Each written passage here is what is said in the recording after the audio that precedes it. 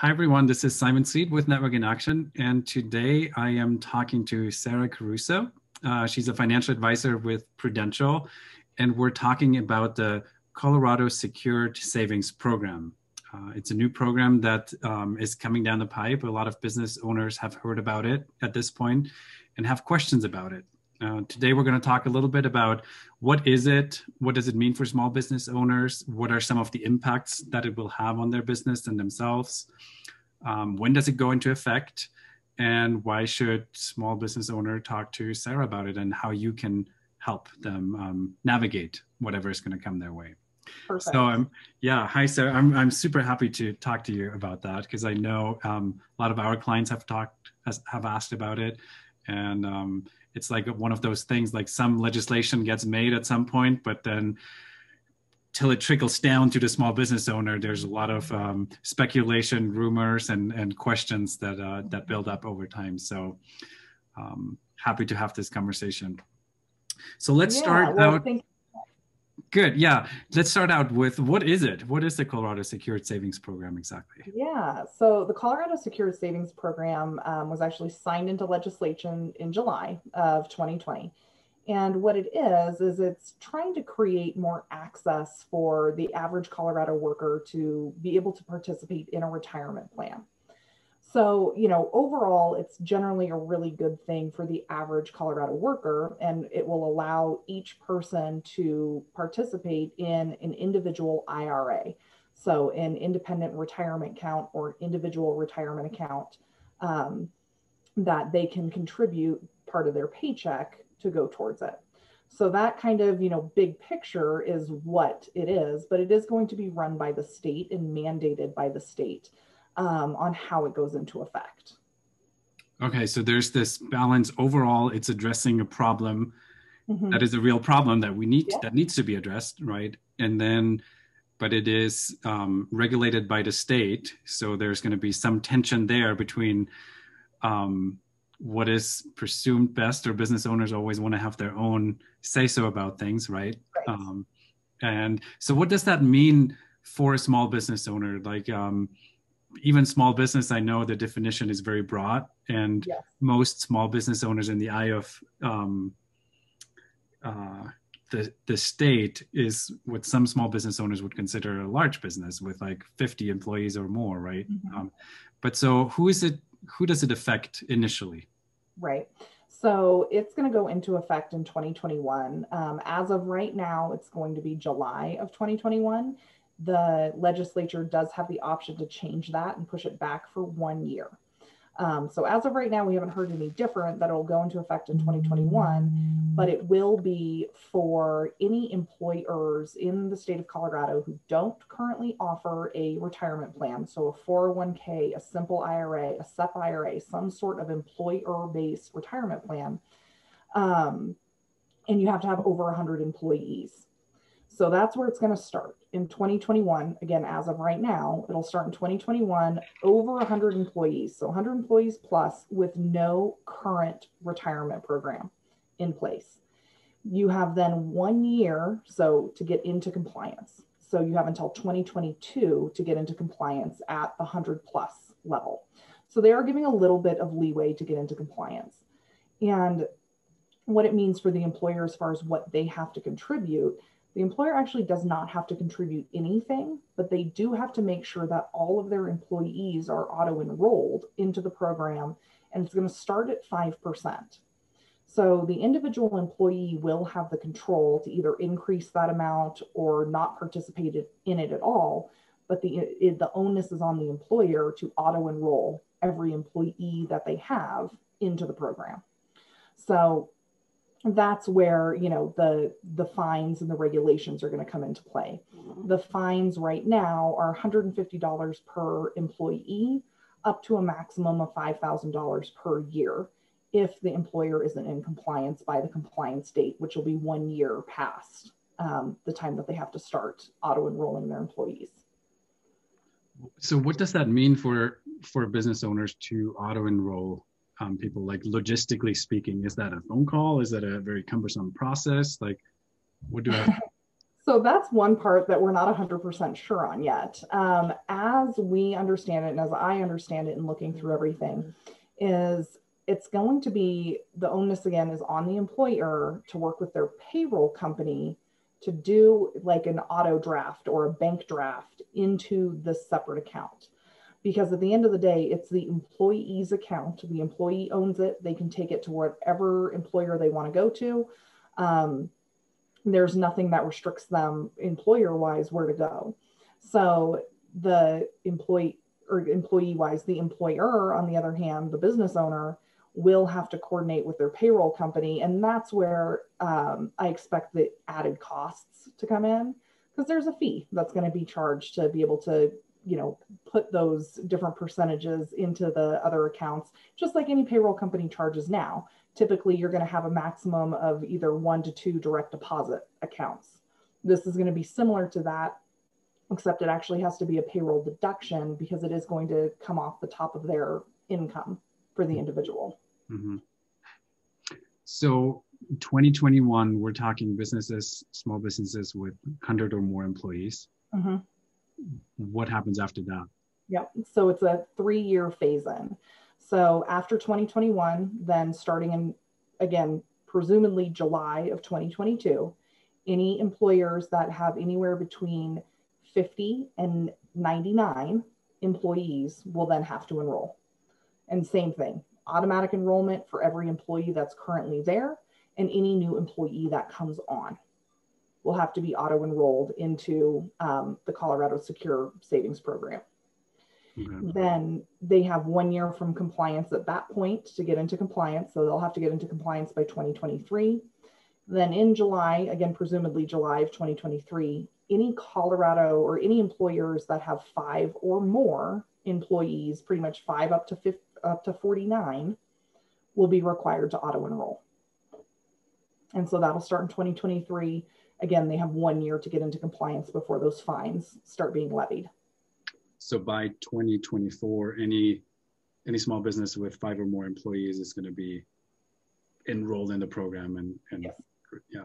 Okay. Yeah, they'll have to be enrolled in the program or have an exemption to the program, which again, that would be any type of um, current qualified retirement plan.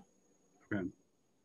What are, so other than having to set it up, obviously it is, it is a win for the employees in the way that you know there is a structure in place where that where some saving is going to go into their right. saving, which is which is good, their retirement savings. They can they can adjust that number however they want to adjust it. Mm-hmm. Um, what opportunities open up for business owners through that from your perspective? Yeah. So I think the business owners really have a unique position to put themselves in with this um, it doesn't make sense for every employer to offer some type of qualified retirement plan. Um, it might be cost prohibitive to them or just generally the amount of time that their employees spend. They're not there for very long. So it just doesn't, you know, logistically make sense. So now they have a recruiting opportunity to be able to bring in good employees and let them know that they're still going to be saving in some way, shape, or form for their retirement, which is great. Um, my concern comes in with the fact that there's still not a lot of education around what does that actually mean for the individual's future cash flow? Are they going to have enough money in retirement? Are they going to be able to live the lifestyle that they're expecting? And with the the colorado secure retirement um, savings program the maximum that someone can contribute a year is $6000 unless they're over 50 then they can contribute $7000 so percentages are great, but that's your maximum that you can contribute.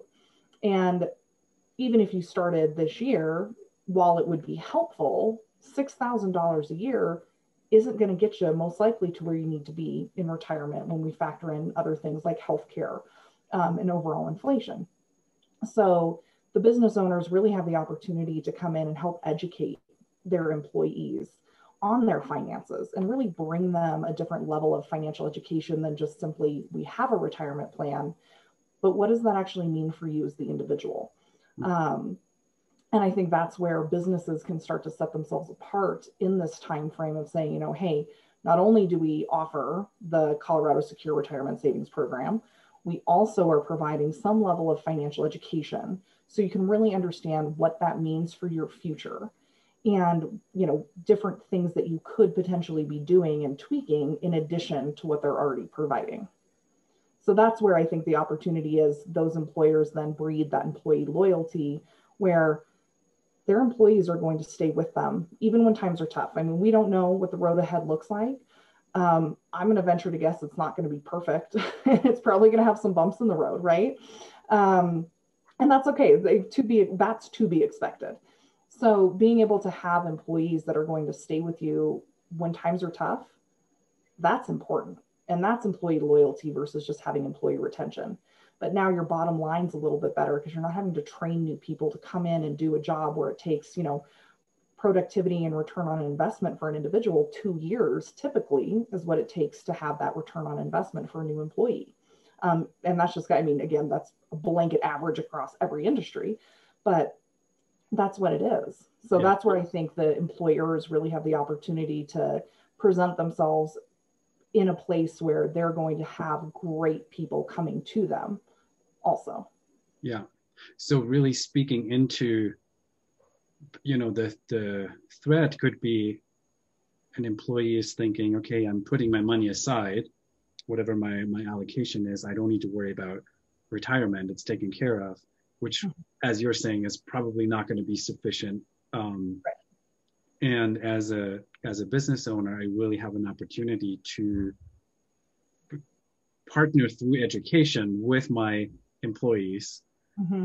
for long-term success and really have them feel um, provide that additional value benefit of of the education and the planning to for a long-term uh, retirement strategy essentially um, yeah. which they wouldn't because usually they wouldn't access that i mean the other thing is people know they should um, learn more about retirement planning but they're not reaching out because it's they don't know where to go it's cumbersome like all mm-hmm. these obstacles that are in the way but now as a as an employer you can actually make it very accessible very easy very um, convenient for people to get the right education right Absolutely. And that's that's exactly it.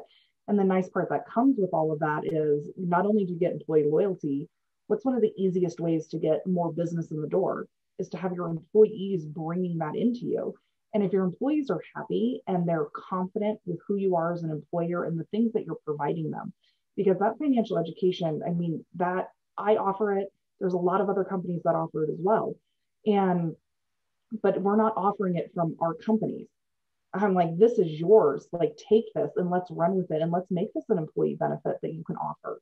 Because then those employees, they they love their employers. They recruit good people. They stay. But they're also then your walking advertisement. When people are proud of where they work, they'll tell everyone about it. I mean, right? How many times have you been at a party or well, in the past, I should say, at a party. and you know they that you meet someone and you talk to them about what they do and they love their employer and they're like oh my gosh this place is the best place to work. If you ever need uh you know if you ever need plumbing done this is call my company. They're the best of the best hands down. Versus you talk to someone who doesn't enjoy working for their company because just perceptionally wise whether or not it's true they don't feel that their employer cares about them. So typically the next words out of their mouth is yeah i work here but I'm always open and you know always looking around. yeah. Not they never said you're a bad company or anything like that, but to me, I'm like, oh well, why would I? Why would I look at that company if they can't even keep their employees? Yeah, you know, and that's not going to be the same for everyone, and you're always going to have right a couple of those disgruntled people. But in general, right, if you can utilize this as a way for marketing, for employee loyalty, I mean, you're going to increase your bottom line just based on that. Yeah. I mean, you know, in this conversation, um, really what stands out to me is how you're looking at this really through the lens of the business owner and the business. And I know that's one of the areas that you really specialize in. You know, there's there's financial advisors that have different areas of expertise, but you really focus on working specifically with small business owners and small businesses and, and their um, employees. So what um, what would that look like if if i'm a business owner that that you know falls somewhere i know it's within the next three years this mm-hmm. is a mm-hmm. conversation that i need to have um, i guess my question is how would i reach out to you would would you come in and help me educate my team like what does that look like if i say hey this is something that i'm interested in i understand the benefit and the value of what you're providing or i'd like to learn more about that um, how do i get started working with you or Absolutely. So what I do for any business owner and or business, right, that wants to have this conversation is our first meeting really, you know, you can reach out to me a number of ways, right? I'm on LinkedIn, um, I'm on Facebook, I'm with Network in Action. So literally type in Sarah Caruso Denver and you'll find me um, and my cell phone number. But call me. But what I like to do is I like to set up an introductory meeting and really figure out, you know, where can I be of highest value to the business owner? Because if you already have a 401k plan set up, well, then this actually doesn't apply to you. The Colorado Secure Act doesn't apply to you. You don't have to worry about it. However, there's ways that we could potentially leverage it all together because most 401k plans are going to have a certain limit where they say, okay, you have to be here for six months before you can contribute or before you can participate you can actually also participate with the Colorado Secure Savings Act. So you can you can do some really interesting things. Um, but that first meeting, I like to go through with those business owners and really just find out where can I be of highest value. Um, I look at it all from a revenue perspective and a cash flow perspective, because I think at the end of the day, the businesses that I work with, I know one of the things that's always top of mind for them is cash flow. What is our cash flow equation? Are we going to have enough to make payroll? Are we going to have enough to do our expansion? Are we going to have enough to hire more people um, to take off the burden, the workload of, of what's going on currently? So I really look at it that from that perspective is where can we find ways to add cash flow back into the business? Um, and starting there. And then, you know, as we look at that and kind of determine what's going to make the most sense, because every business is a little different. If you're a service based blue collar business, you know, you have men and women that are out in the field, they're very hard to get in touch with for a lunch and learn. So we need to strategize and do something different. Um, if you're a dual marketing company, you have a very specific way that the business is structured. So you can't really even talk about doing a qualified retirement plan or employee benefits that are very traditional. We have to think outside the box for that. Um, and so we usually have one meeting where, you know, I really determine, am I a good fit for the company? um, because there's honestly there's sometimes that i'm not a good fit for the company and that's okay but that's what we determine first does it make sense to even move forward then that second meeting is really figuring out if it makes sense to move forward what is the best way to do that is that financial education that's going to be based at your company lunch and learn on well eventually a lunch and learn on mm-hmm. location right um, or is it something where I need to hop on a team call for 10 minutes in the morning to give a high level overview of what some of the benefits are and then reach out to everyone individually because that's just how the timing is going to work. There's people on call, there's people, you know, not available. Um, and that's what we really do in the second meeting. And then by the third meeting is figuring out is there some level of employee benefits that would be 401k, actual qualified retirement plan based on the structure of the company, based on the cash flows that the company has, or maybe it makes sense to put that in place instead of going with the Colorado retirement savings plan or program. Good, and and the time to have these conversations is really now, starting mm-hmm. now. Yeah. Yep. Yep. Great. It's starting now because there. I mean, whether or not the legislature decides to push it one more year, it's coming. I mean, it's here. It's just whether or not it's this July or next July. I have seen no indication as of right now that they're going to move it to next July. The structures are in place. The, the fines to the employers are in place. How the employees actually are going to seek restitution against the companies are in place. Um, they can actually just sue the companies for it. But that is all included in there. So they're now just working out a couple of the little pieces actually with the payroll companies to ensure that the, the streamlinedness is there. And most of these payroll companies are already set up to do that because they work with 401ks and simple IRAs and SEP IRAs already. Mm-hmm. This is an easy thing for the payroll company to transition into. So it's, I mean, it's here. And having the conversation now, we can help prepare those businesses for what's to come and when to start the communication with their employees. Because if you start communicating to employees now and it does get pushed another year, well, that could be a problem. So I would definitely not do that yet. Mm-hmm. But these are the conversations that we have. If you've got a small business of five employees, well, again, does it make sense to do a qualified retirement plan? Maybe, maybe not. And we can have those conversations and really start to get in depth and help control that cash flow inside of the business. Great. Sarah, thank you so much. Like this was a very informative uh, conversation. I know there's a lot of business owners out there that um, have questions about it that are, if it was not on their radar, now it is on their radar. Yeah. And um, of course, we're going to put your contact information on this video as well. And I know they're going to reach out to you and um, get great help. Yes, absolutely. I'm just here to provide guidance. So Good. thank you so much. I appreciate the opportunity to speak about this. Thank you. Thank you so much.